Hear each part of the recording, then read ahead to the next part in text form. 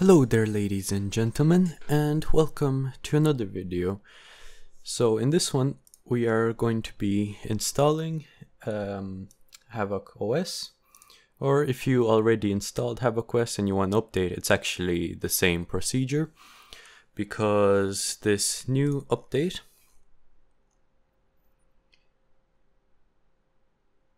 Yeah, so this new update, as you can see here, update build fingerprint, and what that means is it's using the uh, latest stock ROM. So we will need to flash stock ROM before we flash Havoc, basically. So sorry to interrupt there. This is uh, me from the future. So basically, if you are already on Havoc OS, and you wanna basically like back up all your apps and all that kind of good stuff without needing to reinstall them again. Um, you can follow this along here. Now if you're installing Havoc for the first time you can skip this part. I'll put a time or whatever that you can skip to. So you can actually do a TWRP backup to restore the data and your phone will end up being like pretty much exactly like you left it. So I actually flashed the new Havoc update here and um, did a data restore in TWRP and everything is working fine. So I'll show you guys how to do that now. First thing you want to do inside the settings is get rid of the lock screen and all that kind of stuff because it might interfere. And you also want to remove all of your accounts as well. And then what you want to do is reboot to recovery. Uh, you should have TWRP already installed since that's what we used to install Havoc the first time. So anyway once you're in recovery go to backup and only select data and then swipe to backup so it'll take a while because if you have like a lot of apps and stuff, it'll be a few, it's like around 10 gigabytes or so. I don't know this date. Oh no, it's uh, six, six gigabytes. So that's not too bad. So once that's done, what you want to do is reboot and then you want to copy the TWRP folder to your PC this is because we'll be formatting the data so everything on your phone will be deleted. Alright, so once you're in, connect your phone to your PC.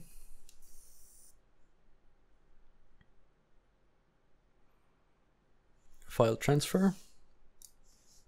And so, see here, open up in uh, Windows Explorer, whatever it is and so what I want to do is actually copy this whole TWRP folder since it has our backups in it and copy it over to somewhere nice. So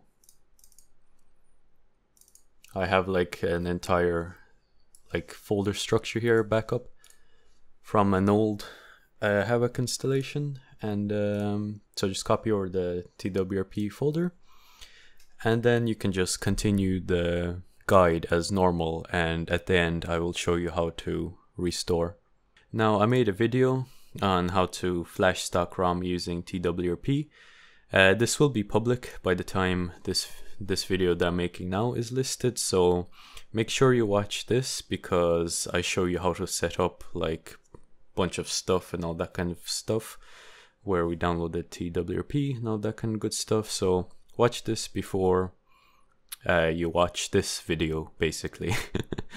so anyway, once you are finished watching that video, you should be fully on the latest stock version. So then we can download the ROM here. So click this link, it will go here. And I'm going to be using the GApps version. So this basically means that GApps is pre-installed inside the ROM. So you can use this one, but you will have to flash GApps separately. So I just recommend using this one. It's uh, basically faster. so once you downloaded that, here or wherever, copy it into your platform tools here.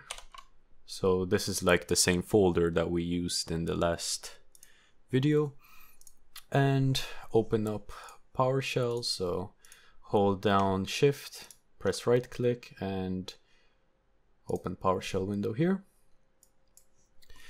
And uh, make sure your phone is already in fast boot mode. So you can do that by turning off your phone and then holding down the power button and volume up key at the same time. This will get you into fast boot mode. Sorry for the mess. we'll move all that shite out of the way. All right. So once you're here, uh, make sure you use the USB cable on the side as well. What you want to do is we want to boot into TWRP. So fast boot, you can press enter or I mean tab to autocomplete file names. So boot, then we need to TWRP image, boot that. If it says your phone is not uh, here or something, um, just make sure you plug in the USB cable properly and using the side port. So know your phone should restart and reboot into TWRP.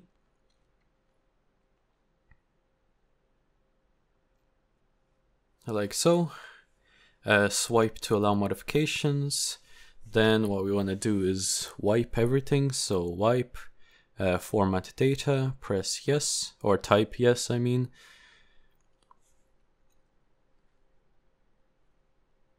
All right, go back, back, and then factory reset, great. Back, back, install, you should see nothing, which is all right. Go back to your PC here, type in ADB, tab, and then we want to do a push, and then we want to push the uh, we want to push the havoc zip, so just type capital H and then press tab there we go. And then we want to push it to SD card. So forward slash SD card. And then it will copy over the zip over to your phone.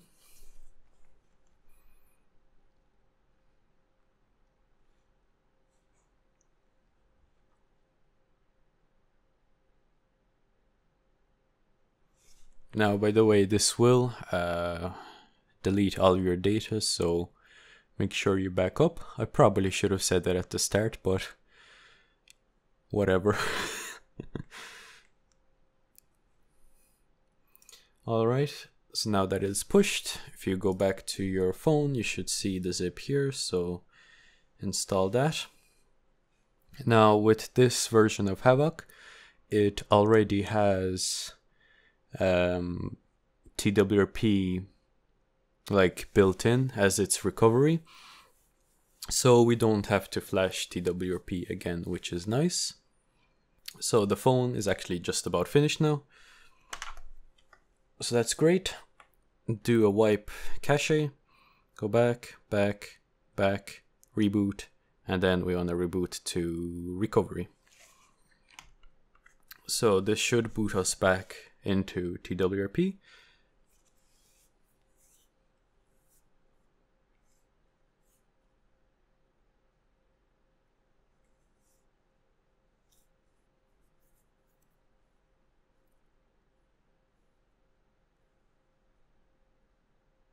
Uh, yeah, not bad.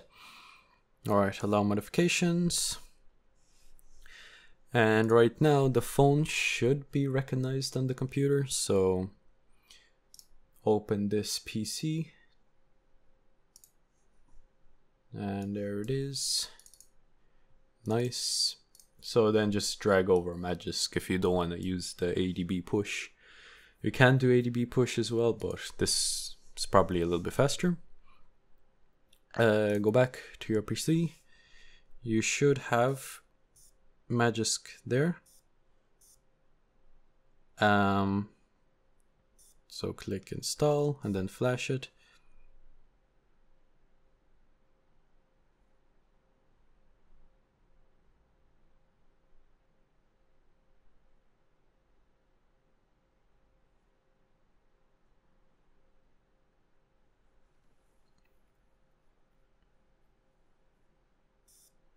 All right, great. And then you can reboot the system and this should come up as Havoc uh, install or the Android startup menu or whatever. Alright, there we go. We see the Havoc logo, so that's a good sign.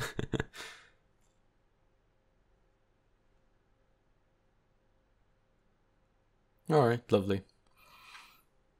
Now, we can continue the startup here. Alright, so once you have went through the setup of uh, like the initial Android setup or whatever it's called, I still don't know.